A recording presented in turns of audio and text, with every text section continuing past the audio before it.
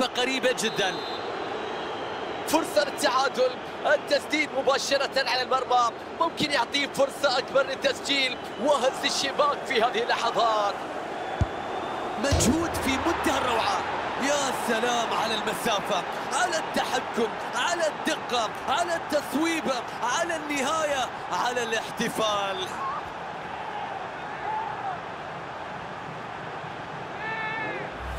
تصويبة رائعة من الكرة الثابتة.